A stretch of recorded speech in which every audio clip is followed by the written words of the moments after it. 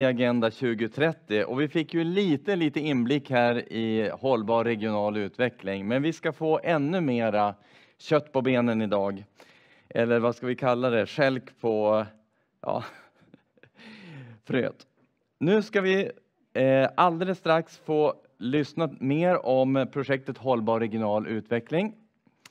Eh, och vi ska även under den här förmiddagen få ta del av tre stycken projekt som vi har jobbat med i det här projektet. Alltså exempel på hur vi kan ta oss an den här frågan, hållbar regional utveckling. Eh, efter det så kommer vi få lyssna lite mer om hållbar besöksnäring och ta del av en ny agenda för regional finansiering som vi också har arbetat med i det här projektet. Sen så har vi faktiskt med oss ifrån Vilhelmina eh, som, som, kommer komma in digitalt och det är väldigt roligt. Lars Gavelin som kommer att prata om social hållbarhet och arbetsmarknadspolitiska frågor i kommunerna. Och vi kommer dessutom att få mycket mer inspiration idag. Eh, vi kommer att bli inspirerade att leva fossilfritt. Vi kommer att bli inspirerade att samskapa som metod för att forma framtiden. Och sen så har vi med oss eh, Skuggteatern igen. De är ju med och lyssnar här under förmiddagen och sen så får vi ett eh, lite mer expertutlåtande direkt efter lunch. Så vi har jättemycket att se fram emot den här dagen. Eh, och nu så skulle jag då vilja välkomna upp Sara Pejok, projektledare för det här projektet på scenen. En varmt välkommen, du ska få berätta mer om projektet Hållbar regional utveckling.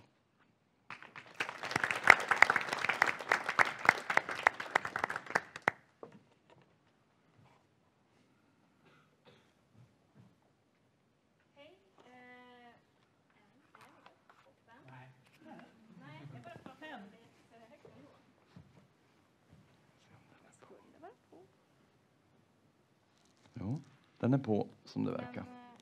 Jag hörs inte heller. Eller på mute. Det är en knapp längst upp man kan trycka på.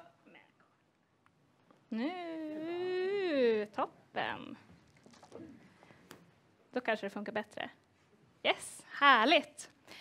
Eh, ja, men jag vill också eh, börja med att säga välkomna hit idag. Både ni som är här i lokalen, men såklart också ni som är med på distans till det som ju eh, är en avslutningskonferens för ett projekt som eh, vi har arbetat med nu. Eh, och vi vill ju här under dagen visa exempel på ja, men, hållbara insatser. Både, precis som Andreas sa, saker vi har gjort inom projektet. Men också eh, exempel från andra personer och organisationer. Eh, vi ser ju att mycket av hållbarhetsarbetet kan spridas vidare. Eh, och vi tänker att det är bra att det kan gå till andra ja, men regioner, aktörer, företag, personer. Och därför så känns det ju extra bra att vi kan samlas här idag för lärande, diskussioner och inspiration inom området hållbar regional utveckling. Jag heter som sagt Sara Pejok eh, och är jämställdhetsstrateg på Region Västerbotten. Eh, och det är jag som har varit projektledare för projektet som vi avslutar nu. Eh, och jag skulle vilja inleda nu med det som har varit grunden för det här projektet, nämligen vikten av att vi har en hållbar utveckling i länet. Vi behöver se till att det arbete vi gör bidrar till de övergripande hållbarhetsmål som vi har att förhålla oss till. Det har vi allihopa. Eh, Agenda 2030 med de globala målen för omställning till ett hållbart samhälle för människor, planet och välstånd. Det har ju såklart varit en bas för det arbete som vi har utfört. Men vi har ju också vår regionala utvecklingsstrategi som eh, även den pekar ut hållbarhet som avgörande för länets utveckling. Och den lyfter också särskilt vikten av att vi arbetar mot de övergripande hållbarhetsmålen som finns. Alltså en levande plats, en cirkulär plats. Och vi vet ju att vi behöver, ja men för att kunna skapa den utvecklingskraft som vi eh, behöver, så behöver de investeringar vi gör vara hållbara. Eh, och vi behöver också se till att människorna i länet vill leva, verka och bo här och att alla ges samma förutsättningar till det. Projektet Hållbar regional utveckling har haft sin grund i det regeringsuppdrag Tillväxtverket har haft där man har fördelat medel till regioner för att arbeta med hållbarhet regionalt. Eh, vi har drivit det här arbetet hos oss i projektform under drygt tre år. Och det känns också viktigt att lyfta att basen för det här arbetet som vi har genomfört och de insatser som har gjorts var att vi från början tog fram en analys över vilka regionala behov som fanns inom hållbarhetsområdet. Och sen har vi utifrån det arbetat med olika insatser och aktiviteter. Och under dagen så kommer vi att få se flera exempel på vad vi har gjort inom projektet. Eh, vi har ju framförallt verkat här regionalt i Västerbotten. Det är ju det vi ska göra.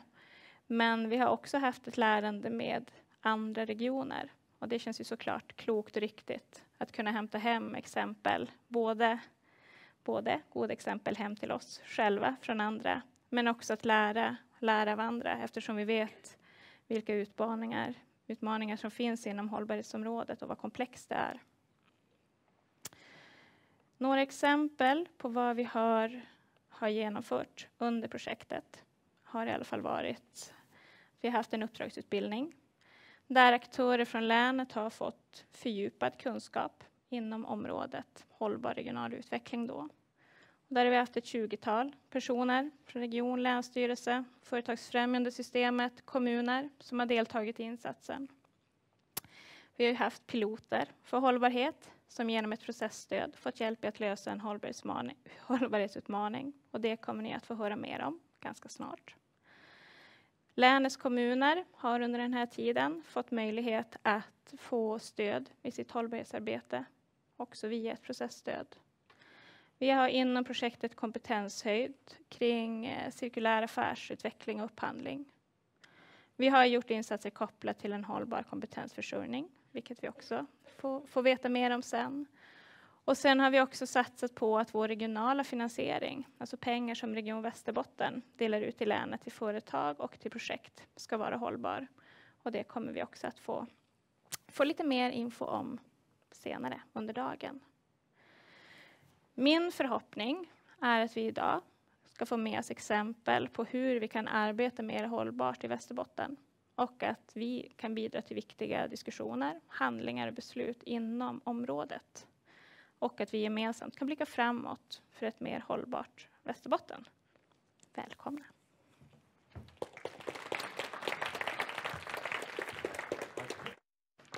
Tack så mycket Sara. Ja, det är ju nu eh, läge för oss. Jag är inte lika uppsjungen på det här som hållbarhet, kring hållbarhet som kanske en del av er är. Så jag ser väldigt mycket fram emot att få ta del av de här exemplen. Och till att börja med så ska vi få en, en överflygning. Hur är läget med hållbarhetsarbete i regionen i Västerbotten? Och så ska vi också få ta del av tre pilotprojekt som vi har nämnt här några gånger och det är Hållbar Gamplatssamverkan, RF SISU och Västerbottensteatern som ska få berätta mer om sitt arbete. Men för att hålla ihop allt det här så ska vi välkomna Mikael Hjalmby, senior hållbarhetskonsult ifrån just ESAM på scenen. Varmt välkommen! Tack! Vad är din relation till sniglar undrar jag? Alltså jag är inte säker på, jag, jag känner som att jag redan är introducerad. Tack! Ja. Tack. Sen är jag inte säker på att om vi pratar biologisk mångfald att man ska utrota alla sniglarna, men det, det där kan vi ta på inom pausen och prata kring. Snillen spekulerar helt ja, men Vilken enkelt. nytta gör sniglarna? Det där, där har Ja. vi lite att gräva i tror jag. Ja, men du ska få ta över scenen och berätta mera. Varsågod och välkommen. Tack, tack. Ja, men ni får applådera, då känns det bättre i, nu känns det bättre i magen för mig. Eh, jag ska se om jag kan få det här att funka. Där har jag någonting bakom mig och där har jag någonting. Just det, så. Eh, Mikael Jandby heter jag som sagt. Eh, har hållit på sedan 94 med de här frågorna. Och en personlig reflektion är att nu börjar vi äntligen närma oss det där stadiet då det börjar bli på riktigt. Då det faktiskt börjar hända. Jag har delat upp det här. Jag ska prata ungefär 20-23 och en halv minut. Så det kan ni klocka. Eh, men jag har delat upp det i tre delar och det första handlar om hållbarhet i regionen. Det andra är lite erfarenheter eh, och det tredje är vägen framåt. Och jag då, kommer då från ett, ett konsultbolag som jobbar med hållbarhet sedan 1990 och vi har då jobbat i projektet i drygt ett och ett halvt år. Så vi har en hel del erfarenheter. Jag har med mig min kollega Ebba Almqvist där. Eh, så så, då kör vi. Eh, sen är det alltid så när man kommer upp efter eh, sådana fantastiska personer som Skuggteatern, att det känns lite så tråkigt faktiskt. Men vi får se, vi får se om jag kan eh, vara lite inspirerande någonstans i det här. Ska vi prata om i regionen och hållbarhet så måste vi som börja på rätt nivå. Rätt nivå är ju på EU-nivå. Det är där man sätter spelreglerna för eh, de 27 medlemsländerna. Och någonstans här 16, 2016 så tog då EU-kommissionen det här beslutet om the new green deal som det heter, den stora gröna given, där EU ska bli den första klimatneutrala kontinenten. Eh, och det som är spännande då, eh, eftersom jag inte har sagt det så ska jag säga det nu, jag är ekonom i botten. Eh, och det finns ett antal områden som ni ser bakom mig här där man driver den här förändringen. Och den känns verkligen som att den är på riktigt. Men det finns väldigt många som säger att det är pengar som styr. Jag vet inte om ni hör till dem. Men det är ändå skönt att veta att längst ut till höger från er sätt så har man nu sedan några år tillbaka faktiskt börjat jobba med finansieringsområdet, det finansiella systemet. Och det händer jättemycket. Eh, ett nyckelord i det här är ju taxonomin eh, inom, inom eh, det gröna. Det kommer också en taxonomi för social hållbarhet inom kort. Så jag, jag tror att det, det här kommer vara det vi kallar på engelska för en game changer. Eh, så det är jättetydligt, oaktat vilken regering vi har i Sverige så driver EU det här och de gör det på riktigt. Sen kan vi ta ytterligare liksom och blicka ut från regionen. Vi kan titta då på, vi kan kalla det för, Sara, de som sponsrar projektet, Tillväxtverket. Eh, och det är ganska intressant att se liksom den förändringen som Tillväxtverket, den resa man har gjort över, över tid där man från början har sagt att tillväxt och hållbarhet, det är samma kurva. Får vi bara mer tillväxt, ekonomisk tillväxt, så kan vi göra någonting åt till exempel miljöproblemen och även de sociala problemen. Och sen har det här över tid då urholkats lite. Man har börjat förstå att vi har ett begränsat handlingsutrymme på den här planeten. Vi måste förhålla oss till de naturresurser vi har och det är ju därför de heter ändliga resurser för att de tar slut någon gång. Och det måste vi förhålla oss till. Så det som är spännande nu det är att i december 2022, vilket kan kännas långt borta men inte är det, eh, så är det här lite definitionen av hållbarhet från Tillväxtverket. Och då har jag bara saxat ut det som är mest intressant och det är egentligen det här med att det är centralt för oss att arbeta med att förändra och förnya ekonomin. Och varför säger man så? Jo, man inser att BNP bruttonationalprodukten är bara ett mått på omsättning. Det har ingenting med kvalitet att göra. Och då, då är man inte riktigt trygg i hur det nya ekonomiska systemet ska se ut. Men man inser att vi måste förändra och förnya det ekonomiska systemet. Och det är ett gigantiskt steg framåt, ska jag säga. Sara nämnde det här, ibland kan det vara bra att se en bild, eh, ibland kan en bild vara förvirrande. Men jag tycker den här ligger ju inom ramen för den regionala utveck utvecklingsstrategin. Och Sara, du nämnde en levande plats och en cirkulär plats. Och det där, gräver man tillräckligt djupt i Region Västerbottens dokument, då kan man hitta liksom beskrivningar av det här. Men det behöver vara ännu tydligare vad vi menar och vad vi vill att en levande plats ska vara eh, i Västerbotten. Jag har gett mig in lite grann eftersom vi jobbar med det här med cirkulär ekonomi, vilket jag egentligen tycker att man bara ska kalla för smart resursanvändning. Så att om ni använder det ordet istället så blir det lättare att förstå. Så vi inte akademiserat det för mycket. Men en cirkulär plats då? Ja, men jag tycker att vi har nästan alla strukturer på plats i Västerbotten idag. Eh, går man in och börjar jobba liksom och titta på cirkulär ekonomi eller smart resursanvändning, då finns de här Ellen MacArthur Foundations cirkulära principer att hitta på nätet. Det finns affärsmodeller, det finns, allting finns. Eh, nu har jag bara gjort så att jag visar lite grann. Det, det finns ett antal exempel på de här olika affärsmodellerna. Eh, och vi har jobbat och jobbar med företag i regionen du nämnde cirkulär affärsutveckling och cirkulär upphandling. Vi ska komma tillbaka till det.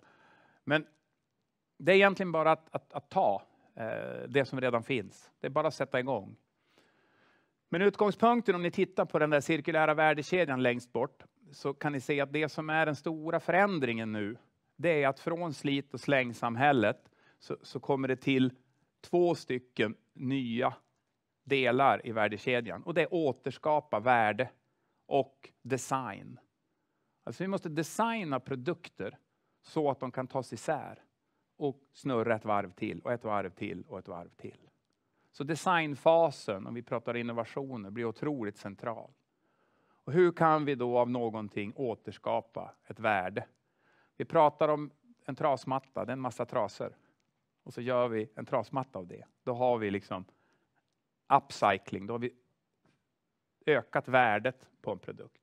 Men så det är återskapa värde och design som egentligen är, är de här nya. I övrigt så är det business as usual. Och då för er, ni kan, ni kommer, vi skickar vi ut den här presentationen sen, det, det tror jag att vi kan lova. Eh, om det är någon som är intresserad, annars får ni bara digitalt slänga den. Eh, men eftersom det är någonstans 80-90 procent offentliga aktörer i rummet som jobbar väldigt mycket med upphandling, så som jag sa så finns alla verktygen. Men det här verktyget vill jag ändå visa, för det här är ett av de bästa verktygen som, som finns. Eh, och det kan man använda även i privat verksamhet, beroende på syftet. Är syftet att minska mängden jungfruliga råvaror, alltså ändliga resurser, som ni ser där i den lite gulare kolumnen, ja, men då ska man fundera på de tre områdena som står där under. Vill man förlänga livslängden på en produkt i offentlig sektor, då ska man titta på kolumnen C. Jättebra det här verktyget. Vad är syftet med upphandlingen?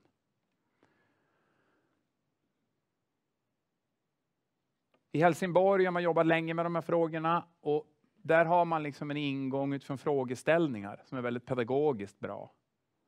Behöver vi köpa?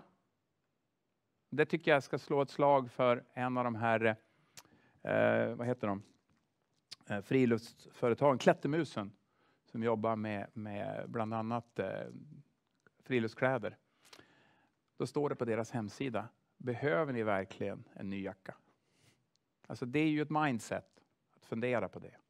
Behöver vi köpa nytt? Kan vi göra på något annat sätt? Kan vi hyra? Kan vi lisa? Eh, kan vi få bättre service och underhåll, det vill säga förlänga livslängden som ni såg tidigare? Kan vi samla behovet på flera avdelningar, enheter, förvaltningar? Kan vi dela mer inom staden? Man har kört igång Blocket vet jag i, i Malmö. En variant av det. Kan vi återanvända, kan vi reparera? Kan vi i upphandling kräva återanvänt material? Sen ska man vara noga med att den tekniska utvecklingen går jättefort. Så att när det gäller till exempel belysning så är den tekniska utvecklingen så snabb så man ska inte kräva återanvänd belysning. Därför att den nya belysningen är så mycket mer effektiv. Så att man måste också fundera där, är det rätt område där vi ska kräva återanvänt material? Ja, men inom byggbranschen kanske det är det på, på tegel eller på något annat. Då. Men det är inte alltid sant att kräva det i upphandlingar. Uh, så, det här är, det pratas väldigt mycket om att, att hållbarhet handlar väldigt mycket om miljöfrågan och att det pratas för lite om social hållbarhet. Och det kan stämma. Men vi har ju ett problem i samhället. Vi klarar ofta bara av att hantera en fråga i sänder.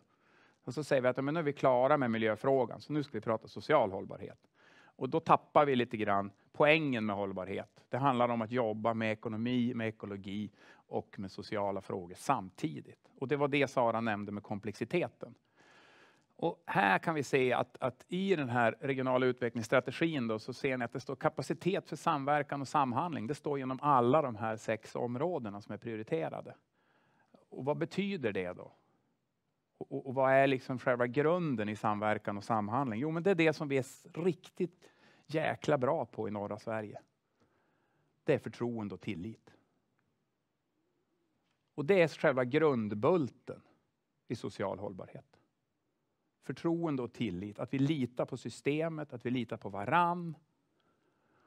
Ja, ni ser lite forskning här och jag har försökt att välja ut någonting. Och, och det här kan ni ju flagga upp en hand om ni inte känner igen er, att ni inte vill ingå i en grupp med hög tillit och att den inte främjar hälsan indirekt och direkt. Eh, jag tycker det är klockrent. Liksom.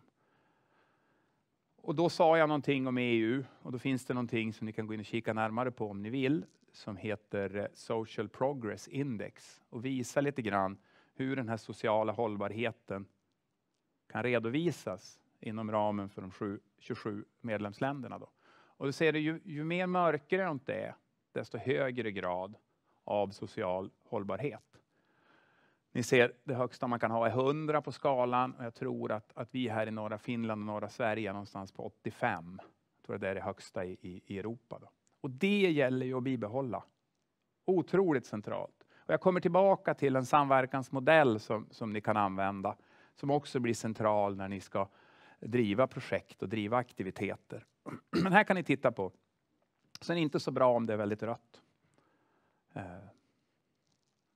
bra, det där var lite grann om hållbarhet i regionen. Nu ska jag säga väldigt kort om erfarenheter och du har ju dragit det där Sara. Eh, så jag låter bara den här bilden ligga på. Eh, du tror du sa alla de här. Det vi inte har gjort än och det är nästa vecka, då ska vi ha en utbildning för politiker i regionala utvecklingsnämnden. Eh, så det ska bli jättespännande. Men annars har vi haft stöd till handläggare, kompetensutveckling internt som du nämnde Sara. Vi har jobbat med projektstöd på olika nivåer Eh, cirkulär upphandling, cirkulär affärsutveckling. Vi hade tre tematiska områden som vi grävde lite grann i. Möbler, transporter och bygg. Eh, vi har haft det här stödet för hållbarhet i kommunerna och vi ska få höra mer alldeles strax om de här tre piloterna. Och nu kommer någonting som kommer lite grann från sidan. Och, och det handlar om liksom hur man kan tänka i, i, i organisationer. Det finns Eh, några duktiga personer som har forskat på över 700 organisationer, både privata och offentliga organisationer.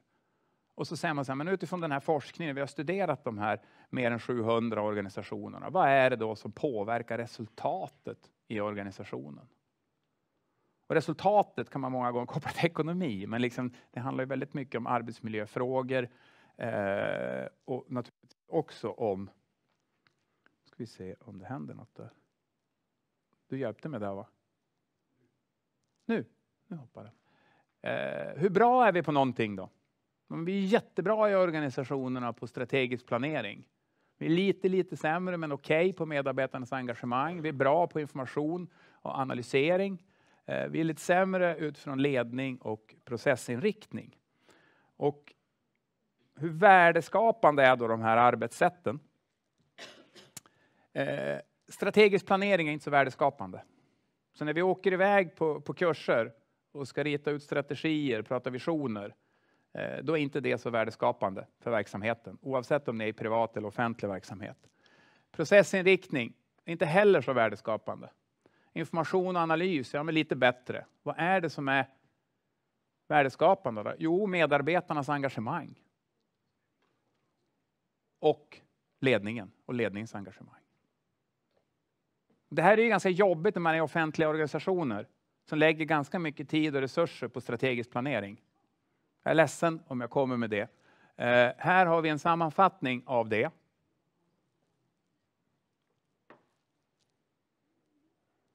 Vad är det som påverkar resultatet?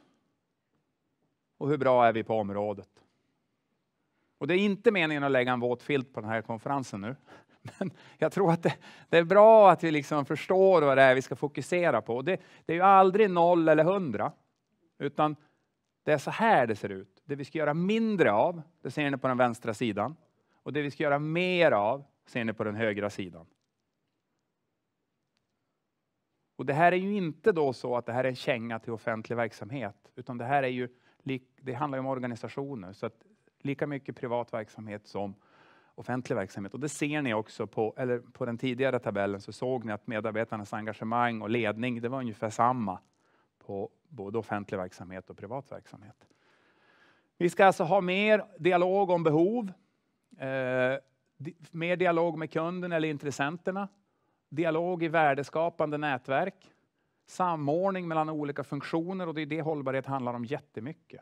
Alltså att, att samordna framförallt då större organisationer och mellan organisationer. Jobba systematiskt med problemlösning. Experimentera fram nya lösningar. Testa, testa, testa i liten skala. Uppföljning och utveckling av bra arbetssätt. Vi måste efterfråga arbetssätt för hållbarhet. Vi måste efterfråga det från ledningen. Dialog mellan chef och medarbetarna där cheferna är ute i verksamheten och inte planerar strategiskt enbart. Så mindre av och mer av, inte noll eller hundra. Då ska vi titta lite grann på vägen framåt. Vägen framåt. Vägen framåt. Och i första hand så ser vi 2030. Sen så pratar vi om eh, 2050 då som också ett sånt där målår. Men 2030, visionen till 2030 som den regionala utvecklingsstrategin pekar ut. Och vi har ju lite tid på oss att sätta de här arbetssätten, sätta de här strukturerna. Och det är det som menas med 2023, 2024. Men sen måste vi få en utväxling. Sen måste vi få en ordentlig hävstång i det som händer. Och det är egentligen den stora utmaningen. Att sätta rätt arbetssätt, att sätta rätt strukturer och sen så måste det hända ordentligt. Och då ska jag ta det för att de kommande bilderna, det handlar väldigt mycket om komplexiteten och helhetssyn. Vi ska ta liksom det här med stuprör eh, nu. Och det här är ett, ett företag som vi har visat upp som ett gott exempel. Vi gjorde det i måndags i Härnösand eh, inför alla näringslivskontoren och affärsrådgivare där. Heter BL Interiörer, finns i Umeå ute på ett industriområde som heter Västerslätt. Och de har den här visionen. Och, och, det som jag vill visa med den här och nästa bild är egentligen liksom att det är möjligt i sitt stuprör att göra fantastiskt mycket. Och då kan man se på, och då, nu tittar vi liksom på, man kan säga att det finns, det finns en, en, en plattform, en organisation som heter Fossilfritt Sverige, som hjälper 27 branscher i Sverige och har tagit fram tillsammans med de här branscherna 27 stycken färdplaner för fossilfri konkurrenskraft. Till 2045 så ska man vara fossilfri, säger man, i de här 27, nej 23 branscher är det, ursäkta. 23 branscher. Så det är därför det här fokar mycket på klimatneutralitet. Det finns en för bygg och anläggningsbranschen, en sån färdplan, och där ingår ju BL Interiörer. Då. Eh, 2018, så hade de, nej 2019, så hade de eh, alltså 180 ton CO2 som de släppte ut. Eh, ska säga. Nej, så här ska jag säga istället. När de började så låg de någonstans på 3 ton per anställd 2018 när de började mäta det här. De började mäta det 2016 och 2018 så började de genomföra ett antal aktiviteter. Då har man alltså gått från 3,65 ton per anställd till 1, 1,5 ton. Och det är en fantastisk förflyttning på den här tidsperioden. Vilket visar att det faktiskt går i det egna stupröret. Men om vi kommer tillbaka till det som Skuggteatern inledde med. Jag såg ditt manus där, där låg de där Agenda 2030-målen och de här globala målen så där fint i, i den. Eh, så kan man ju se dem liksom som en karta där de liksom ligger efter varann så där. Eh, men det är inte riktigt hela sanningen. Utan, utan de är liksom, det finns, det finns någonting som vi måste förhålla oss till. Och det är därför som den här bilden Eh, är så central för att ta nästa steg utifrån den där kartbilden som, som ni hade. Då. Eh, och, och, det är det ekologiska, den ekologiska dimensionen. Det är den som vi har att förhålla oss till. Vi måste alltså hålla oss innanför naturens ramar. Och innanför, då finns det fyra stycken mål där. De har ni koll på säkert. Sen handlar det egentligen om varför vi håller på hela dagarna eller halva dagarna eller hur mycket vi nu håller på. Det handlar ju om livskvalitet.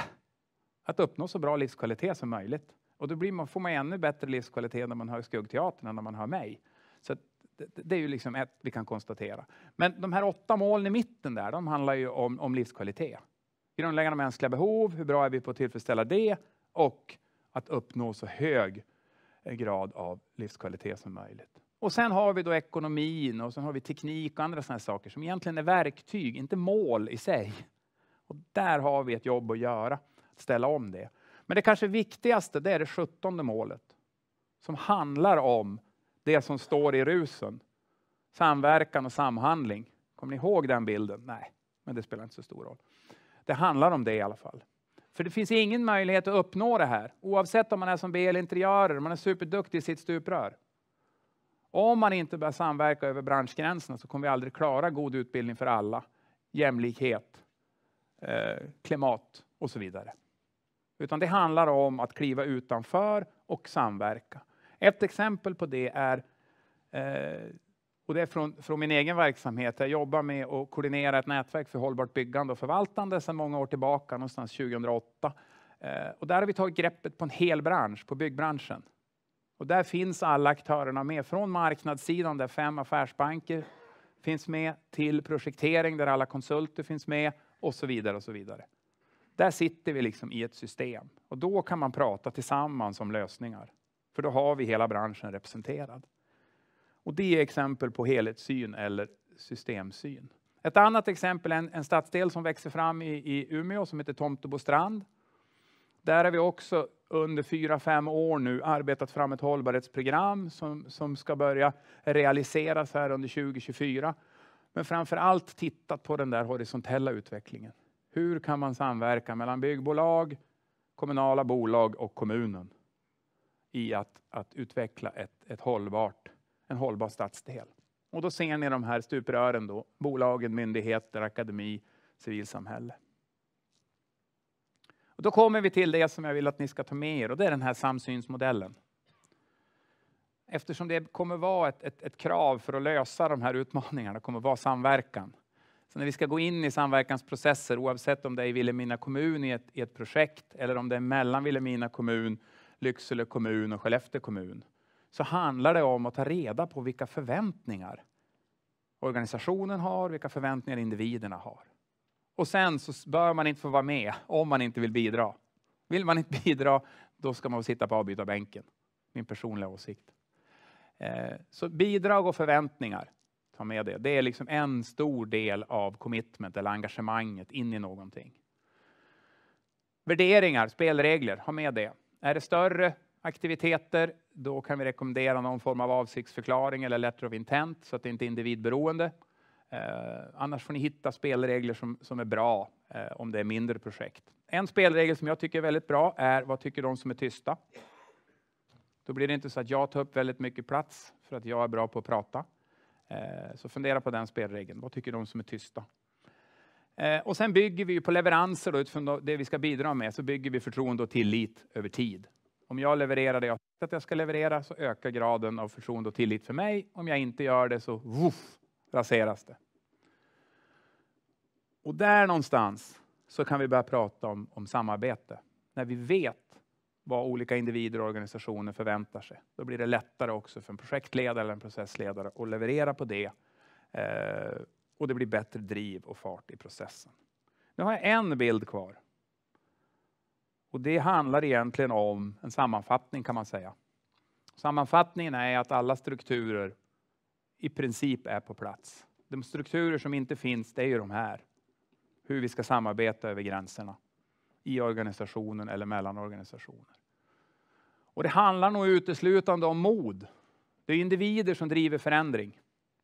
Det är inte organisationer som driver förändring, utan det är individerna som driver förändring. Och så handlar det om vilket handlingsutrymme man har. Och ibland så kan det vara bättre att be om förlåtelse än om tillåtelse. Vad kan du påverka?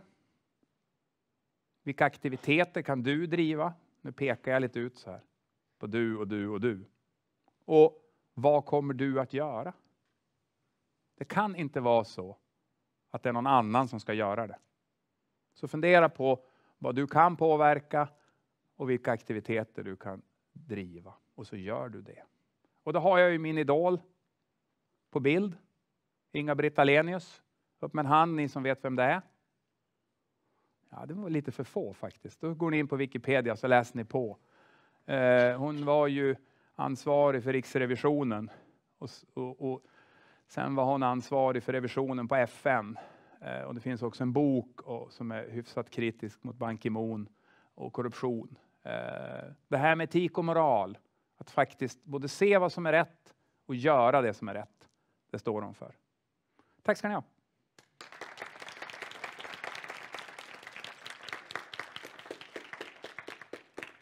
Då ska vi välkomna upp på scenen. Och ser ni, de börjar redan röra på sig upp här. Eh, de här tre piloterna. Och det är i högsta grad levande människor. Det är inga rymdfarkoster. Så att då ska vi se. Kom upp på scenen. Kom upp. Ni var inte... Eh. Den är på. Jättebra. Ja! Du har fått... Ni har egna, ja. Perfekt. Perfekt. Jag tror att Karin, jag vill ha dig här. Jo, jag vill ha dig. Är det okej? Ja. Nu är vi lite taskig mot webbsändningen här, så jag vänder mig om igen. Så. Eh, fem personer, fyra stolar. Vem blir utan? Eh, bra, men jag kan väl tänka nu, eftersom jag pratar en massa och man är hyfsat less på mig, så kan väl ni berätta vilka ni är? Ja, men absolut, det kan vi göra. Eva Lundström heter jag. Jag är driftsansvarig på GAM-platsen som är ett eh, om, hembygdsområde i Lycksele. Mikael Jakobsson, ordförande i Liksom Samien Sebrie, som är en av föreningarna som verkar där. Och jag jobbar även på museet.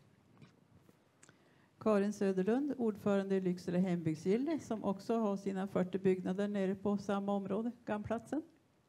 Härligt! Underbart att få stå här med er. Eh, jag tänkte att vi ska ta en liten sån här bakgrund bara, eh, för er som, som lyssnar.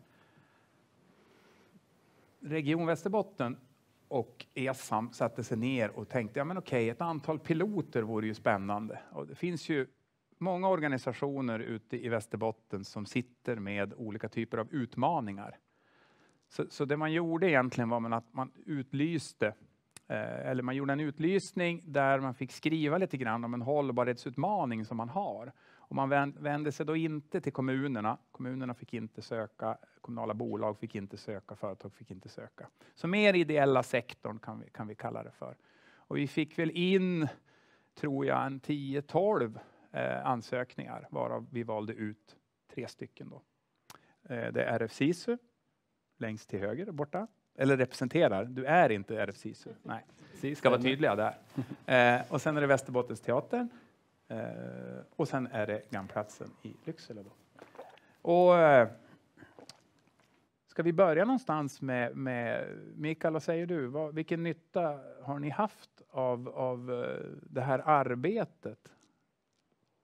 Eh, jag har ju varit med längst utav, utav vi som är här nu på GAM-platsen. Jag har eh, varit, suttit i, i styrelsen på Lycksele sameförening och, och även i hembygdsgillet och så började jag jobba på Skogsmuseet för över tio år sedan. Eh, det har varit många försök att få ihop någon sån här uh, samarbete och visst går det går samarbete om arrangemang, man gör arrangemang. Mm. Det går att göra samarbeten om olika små saker och sånt där. Mm. Men om man ska samarbeta i stort eh, så att alla känner sig delaktiga, då, då har det varit svårt.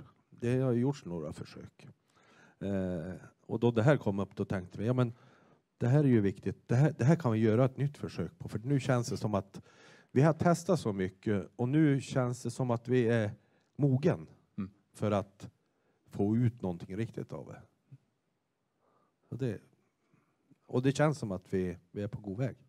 Inte bara med hållbar utveckling utan med en massa andra små grejer. Som, det, det blir en massa ringar på vatten. Ja, det är så spännande för vi avslutade, jag avslutade alldeles nyss med det här med samarbete och samverkan. Och för att det ska fungera på GAM-platsen så är det väl så att samverkan är centralt, eller vad säger du Karin? Ja, oh ja. och eh, under den här projekttiden så tycker jag att just den här samverkan har bara förstärkts. Mm. För att det har varit, som Mikael säger, lite si och så under årens lopp. Mm. Men och tyvärr så är det ju väldigt mycket personberoende också, mm. att det ska bli en hållbar samverkan. Och vi ideella föreningar har ju då risken att bli utbytta varje år. Så att eh, därför är det bra att man har en, en eh, stadig organisation som vi kan luta oss tillbaka på. Mm. Eva, är det andra saker som har kommit igång? Mikael snuddade ja, vid det precis. lite grann. I, I den här processen så har vi startat flera andra processer också. Eh, jag ansvarar för driften så, men håller också lite sa- sammanhållande roll också. Eh, vi har ju naturligtvis stora utmaningar på området med elkostnader. Eh, det kan nog varje ideell förening intyga. Ehm, och i de här parallella processerna så gör vi också en översyn då tillsammans med fastighetsägaren som är Lycksele kommun eh, för att kunna sänka elkostnaderna. Andra processer som vi gör eh, är att vi har gått ut med en enkät. Vad vill eh, besökarna ska hända på Gamplatsen? Det har varit upp och ner. Då det har funnits pengar har man kunnat satsa. Då det inte har funnits pengar då har det varit lite mer stiltje. Eh, sen så är det just det här med tilliten och samsynen, att vi, vi har processat och vi har en gemensam samsyn. Vad vill vi med Gamplatsen? Vi vill ha ett levande och ett hållbart Gamplatsen som vi gör tillsammans. Hur långt har vi kommit då? Om vi tittar på, på den här processen. Är, är, vi, är vi i mål? Mikael? Nej, vi är väl inte riktigt i mål än, inte, men, men vi är på god väg. Eh, nu, jag och Karin representerar ju föreningar också och vi är just inne i det här med årsmötets som är nu på vårkanten i alla föreningar. Så att då får vi se. Vi kan ju bli utbytt, jag och Karin, man vet aldrig. Så då är inte vi med, då, då blir det lite mer jobb på Eva för att och, eh, eh strukturera upp det här. Det som är viktigt att, att eh, hållbarhet för oss föreningar, det tror jag det, det har nog inte så mycket att göra med om vi återanvänder grejer eller om vi res billigt eller om vi äter ekologiskt eller något sånt där. Utan hållbarhet för oss är ju att, att vi ska ha en organisation som funkar även om vi blir utbytt. Mm. Att inte den nya styrelsen kommer in och säger att nej, det där skiter vi. Nej. Utan det är ju det vi, vi jobbar med. För att det är ju nästan så det har varit tidigare. Och lite är vi inne på, Eva, och titta på avsiktsförklaring. Eller något. Du kan väl berätta lite grann om Precis, tanken är ju nu, eh, vi är inne i en process, den är inte avklarad utan det här är en levande process. Vi kommer ju att hamna i ett något slags avsiktsförklaringsskrivande här nu senare under våren framåt sommaren där vi gemensamt med styrelsen och då jag som är ansvarig för driften sätter oss ner och formulerar det här vill vi. Det här har vi samsyn kring. Det här är vår avsikt med området. Eh, för det är så, Gamplatsen Eh, fastighetsägaren som äger marken det är Lycksele kommun. Det är Karin i Lycksele hembygdsgille som äger 40-talet utav byggnaden, bland annat de som vi ser här bakom. Och Mikael som representerar sameföreningen ansvarig för samevistet. Så att det är många parter i det här och därför behövs det också de här demokratiska processerna tar tid. Och det tar ju tid när ni ska ha det är styrelsemöten. Nu pratar du Mikael, det är årsmöten. Det är saker som ska hända för att det här ska bli förankrat. Och då handlar det egentligen i botten om tillit och förtroende.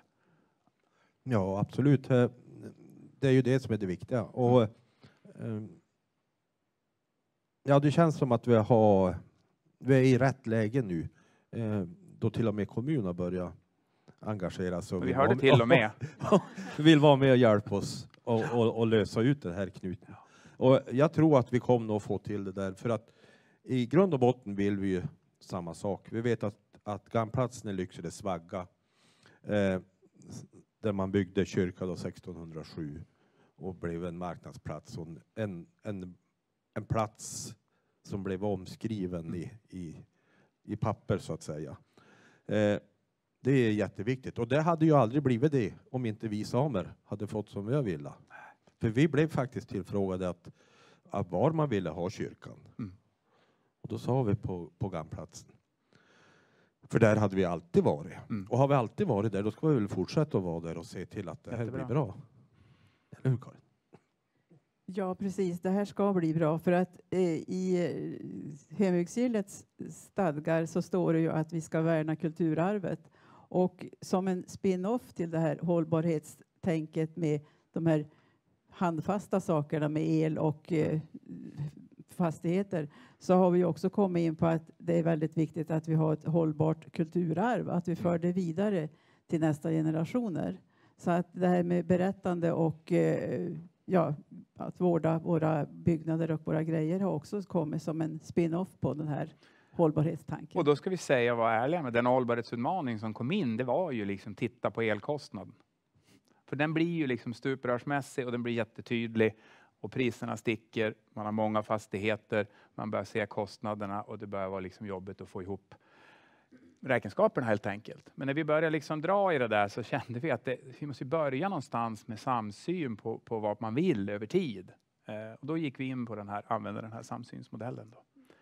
Eh, bra. Är det något mer ni vill lägga till nu? Så gör det. Nej, vi är nog, vi är nog ganska nöjda. Då vi, vi vi. är ju mitt Då inne i tackar vi. processen. Så att vi, Bra, nej ni får slå er ner för jag kanske kommer på någon, någon listig fråga till sen. Då ska vi välkomna upp, får, får vi med oss någon mikrofon eller behåller ni? Du har mygga ja, vad bra, jag såg inte. Eh, då får vi upp Västerbottensteatern, då tycker jag att vi kan börja med en applåd. Så, då, då vet vi att ni är vakna också. Eh, men berätta, vem är du? Ja, men jag heter Lina Söderberg och jobbar som HR-ansvarig på Västerbottensteatern. Och ni har flyttat. Vi har flyttat in i nya lokaler. Och de lokalerna är bakom oss va? Ja, men kolla här. Ja, precis. ser du? precis. Och det var ju lätt att, att packa flyttkartonger. Men sen? Sen har vi haft olika utmaningar på, Ja. på vägen. Det har varit superspännande tid att etablera oss i huset och hitta nya arbetssätt. Det har ju kommit in fler verksamheter som vi har hittat samarbeten med och sådär. Eh, och nu som ni alla såg här alldeles i veckan så är det ju klart att vi också repar i huset eh, så småningom. Så det är super, super roligt. För det var ju en stor utmaning när ni skrev in till det.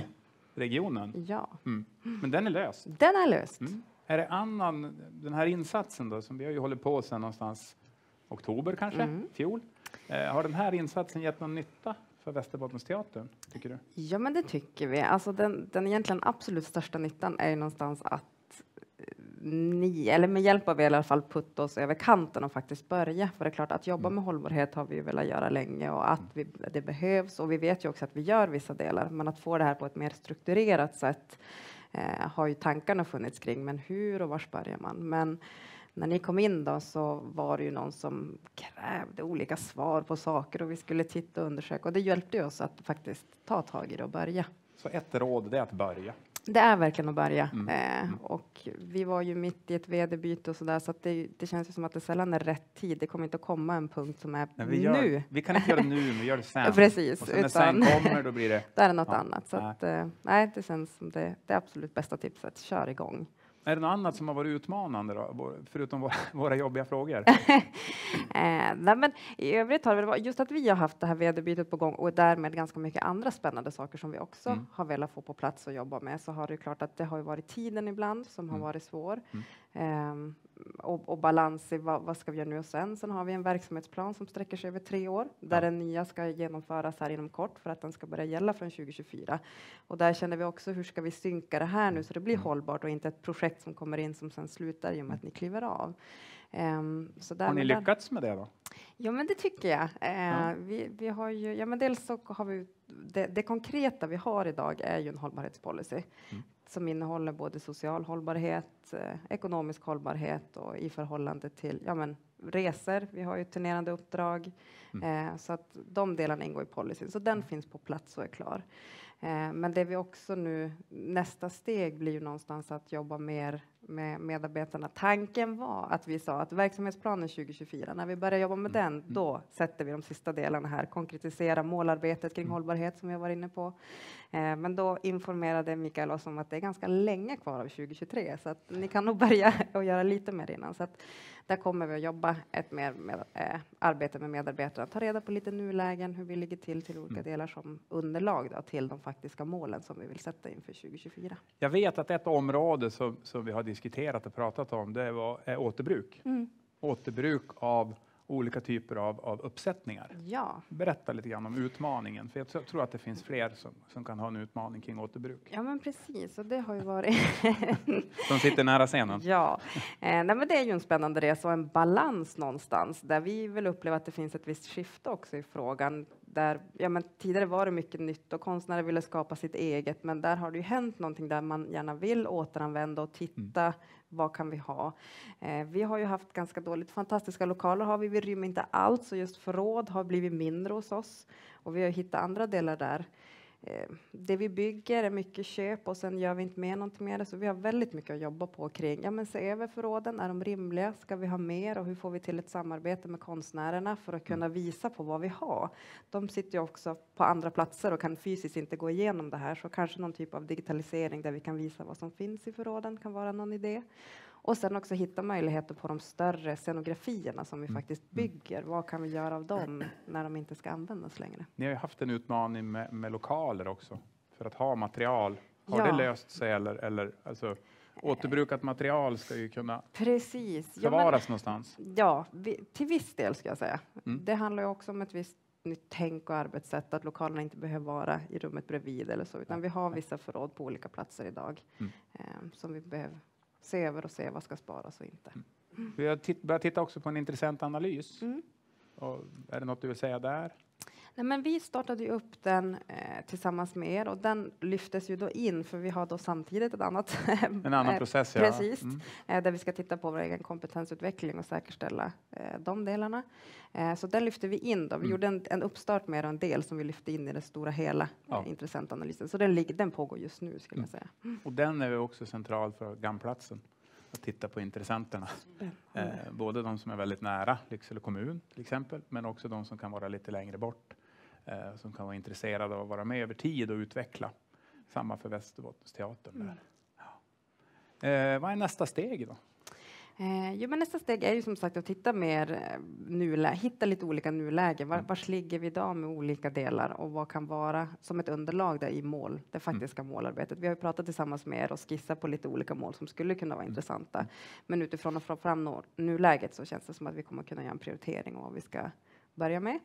Eh, sen kommer vi också vända oss till kollegor i branschen. Dramaten är ett exempel som har kommit väldigt långt i deras hållbarhetsarbete. Bra, då kanske vi har fler här som vi ska prata med.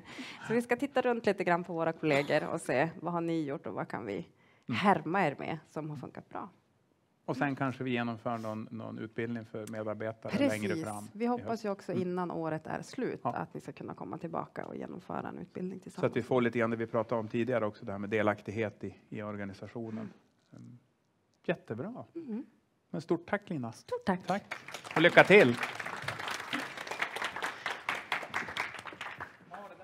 Exempel på två av tre piloter och då är det dags för den tredje.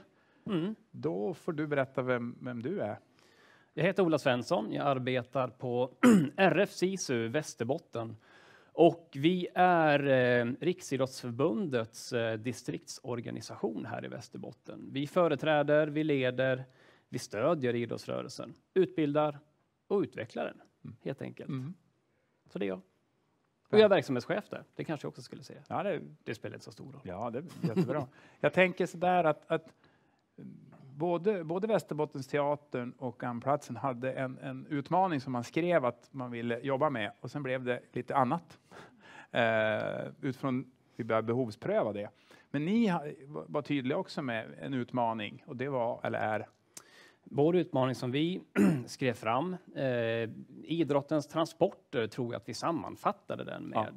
det. Och, och bara för att kontextualisera lite grann så inom idrottsrörelsen i Sverige så sker det 150 000 träningstillfällen varje dag. Det innebär galet. rätt många resor. Det är galet mycket. Det är väldigt mycket. Det är inte bara Västerbotten förstås, men det, det är hela Sverige. Så det är liksom vår gemensamma utmaning för idrottsrörelsen. Och då vet alla ni som kanske har skjutsat era barn eller syskonbarn och så vidare att det är rätt mycket bilåkande. Det kan vara ganska mycket ensam åkande. Eh, En förälder och ett barn eh, och så vidare. Utöver det så sker det också ett antal kupper, ett antal matcher varje vecka. Det är evenemang, eh, turneringar och så vidare. Och inte minst elitidrottens alla resor. Och elitidrottens internationella evenemang. Vi var ju tvungna att avgränsa oss Ja, förstås, såklart. Mm. Men där har ni liksom idrottsrörelsens utmaning och, och den klimatpåverkan som vi faktiskt bidrar med. Och det här är ju ett försök då att liksom, ja, angripa och adressera det. I den här ryms ju allting. Va? Vi, vi ryms ekonomi i form av ökade kostnader för resor. Det ryms den sociala hållbarheten med att man faktiskt kan åka fler tillsammans Mm. än om man gör, som du beskrev, ensam med en bil. Eh, och det ryms också miljö och klimatnytta i det här.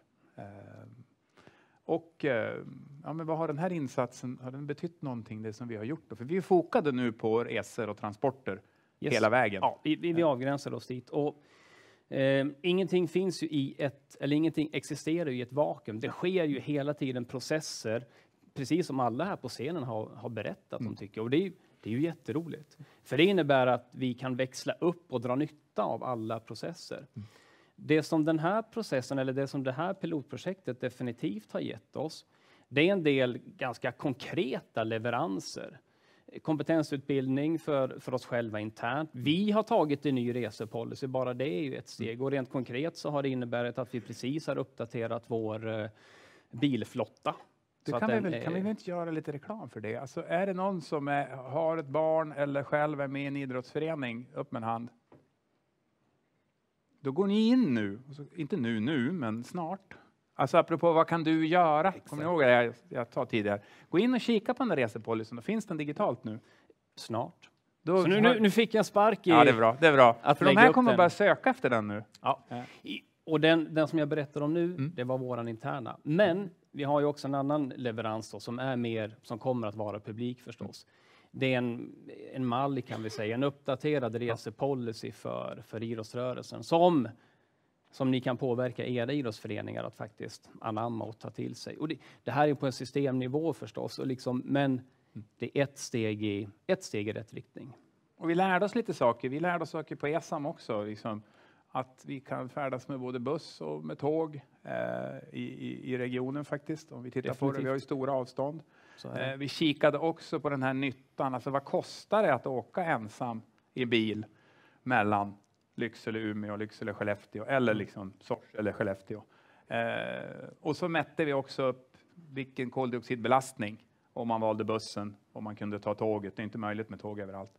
Så att, så att man skulle kunna få, och det kanske fin- kommer att finnas med liksom. Ja, men det kommer. Och det har ju definitivt gett oss en del argument till varför det här arbetet är viktigt som vi då kommer att kommunicera och det blir ju ett, ett steg i vårt kommunikativa För, för när vi pratar om piloter så har vi pratat även, inte bara om GAM-platsen och er tre, utan berätta Ola.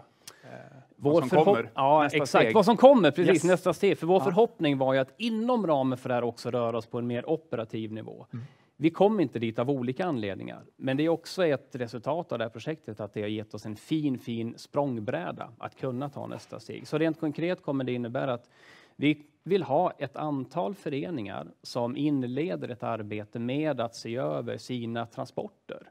Och det gäller då både till och från, alltså föräldrar, till och från träningar och matcher, men också då hur föreningens totala eh, rese, resor ser ut och hur man kan förbättra dem, effektivisera och göra dem mer, mer hållbara. Så det, det kommer. Ja. Och då rör vi oss ner till de som faktiskt har verksamheten. Exakt, För så är exakt. det ju, vi, RFCC, vi har ju ingen idrottsverksamhet utan det är ju föreningarna. Mm. Så är det. Superbra Ola. Eh, Stort tack och en stor applåd till alla piloterna.